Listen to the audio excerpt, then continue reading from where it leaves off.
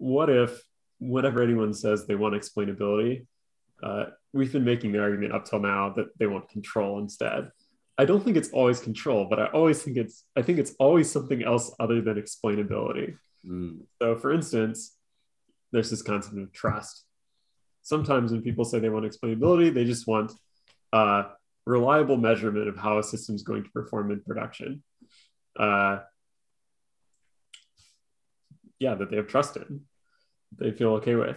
And I think there are other times when people say they want explainability, they actually want fairness. They want to know that uh, in some mission critical scenario where there's this possibility of being systematically biased towards some population, you're not.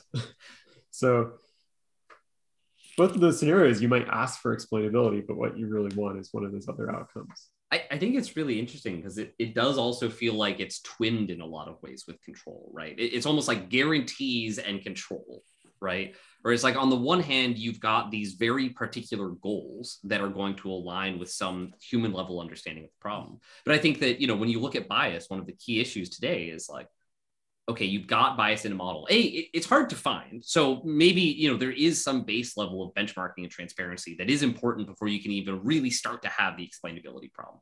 But let's say you've got you've got the first level explainability that's just metrics and benchmarks and you found the bias, right?